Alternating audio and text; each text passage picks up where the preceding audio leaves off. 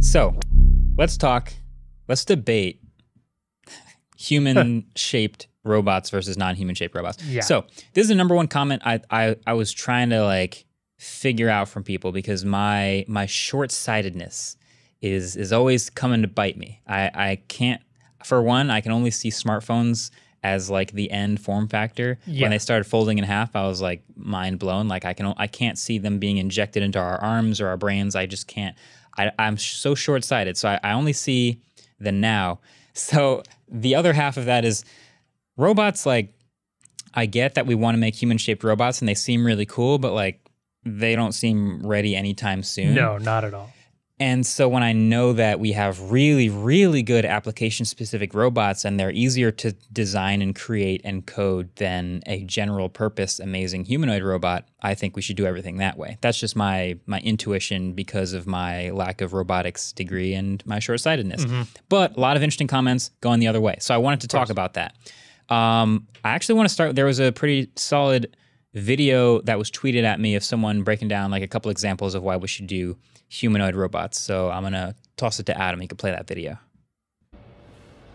Hi guys, I want to do a very quick video. I've just seen um, Marques Brownlee's video where he's, you know, basically saying he doesn't agree with the approach of making the, the Tesla bot humanoid. Now, first of all, Marcus is fantastic, one of the greatest tech communicators on the planet, so this isn't an anti-Marques video, but I do totally disagree with him on this. I'm on Elon's side on this one, surprise, surprise. So Marques's uh, argument was that you build application specific robots. Okay, um, and, and that could be true if you're building from the ground up. If you're building a car factory, for example, absolutely, because everything it's a flat surface. You, you've got an empty warehouse and you need to fill it with things. But we are talking about um, integrating a robot as possibly a human assistant into a world that has been designed over thousands of years to accommodate the human form. Okay, so the example he gave was he said the dishwasher is the robot that's been designed.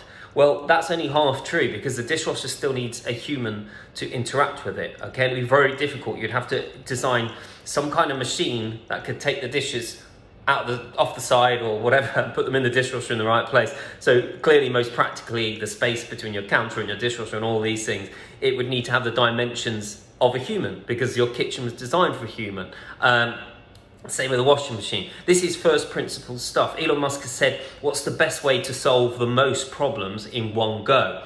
It's not to build an individual robot for every single tech application you have in your home to replace it. So you, you'd have to replace every single piece of tech. Or what you do is you work with what we've got and you build a robot in the form that is most compatible with your home. Because if you had wheels on the bottom of it, it could go up and down stairs, for example. Uh, and yes, it does have to fit in a car, which means it has to be able to bend like a human to fit in a car. So the scenario may be that the robot hops into your Tesla one day. The Tesla, a robot itself, drives the robot to supermarket. The robot has to be able to get in and out of the car. Otherwise, you have to redesign cars. So this is the point, and this is why I disagree, and this is why I think the humanoid approach is correct. Thanks, guys.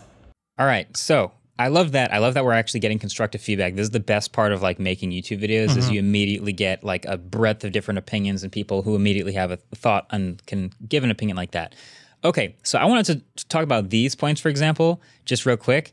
Um, the the humanoid f- form thing is so interesting because he mentions like a dishwasher. While it is a robot that washes the dishes, it still needs a human Yeah. to like load the dishwasher. And I thought I was like, okay, that makes a lot of sense. But what would be easier, designing a robot or designing a dishwasher for that matter with like an arm inside that can reach out and like grab the dishes and put it in, or designing an entire humanoid robot that can do a ton of stuff, including loading the dishwasher?